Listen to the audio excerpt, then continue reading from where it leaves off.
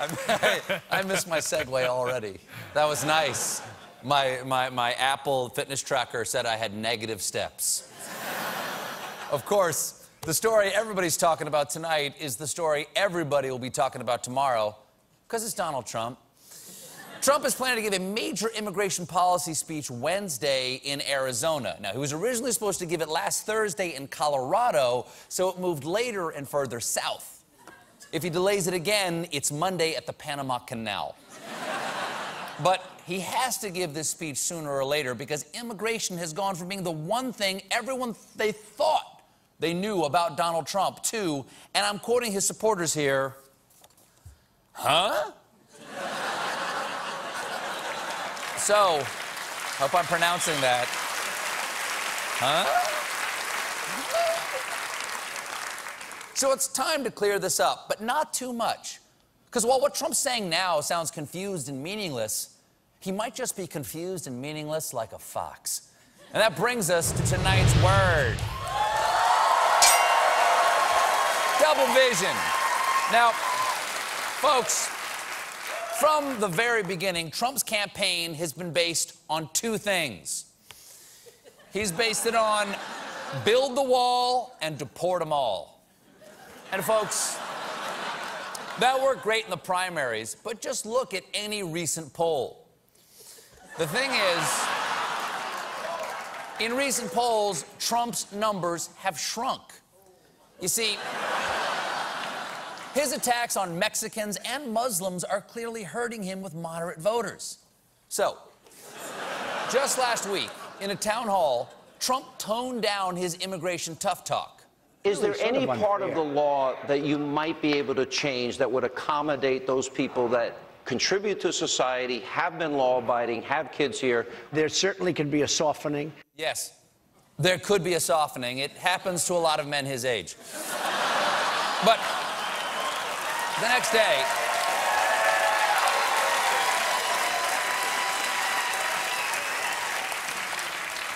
but the next day, he went soft on the softening. You use the word softening. Well, I don't think it's a softening. I think it's. But it's, 11 million people are I, no longer going to I've be had deported. people say it's a hardening, actually. But, but Okay, so it's a softening that's also a hardening. And I, I gotta say, I believe Trump because at the town hall the night before, right after he announced the initial softening, he immediately hardened it. Who wants those people thrown out? I do. I love this guy. This is my guy. Did you hear that? He had just said he wouldn't throw everyone out, but then one guy yells, throw them all out, and suddenly he's like, this is my guy. And that, that is innovative leadership. You see, for years, politicians have been so afraid of immigration reform that they wouldn't take any position. Now Donald Trump has taken two. And keep in mind, and this is important, keep in mind that this is not flip flopping. He's not saying up, then changing his mind to down. His position is a firm up down.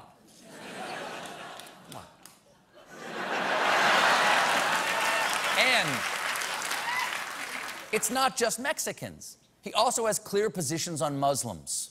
Donald J. Trump is calling for a total and complete shutdown of Muslims entering the United States. Firm. Now let's try soft. It's a temporary ban. It hasn't been called for yet. Nobody's done it. This is just a suggestion. Okay, but if it's just a suggestion and nobody's called for it, and he called for it, does that mean he's nobody? Plus, Trump has promised to bring overseas jobs back to America, and at the same time, his shirts are made in Bangladesh, his ties in China, his suits in Mexico. So, whatever, whatever you believe, Trump agrees with you. I don't know why he's not getting 100% of the vote. So, to win this election, Trump is going to have to take every position on every issue, other than obviously whether Hillary should be president? She will be a terrible president. Well, I know her, and she'd make a good president. Wow. He is fan terrible. And that's the word. We'll be right back.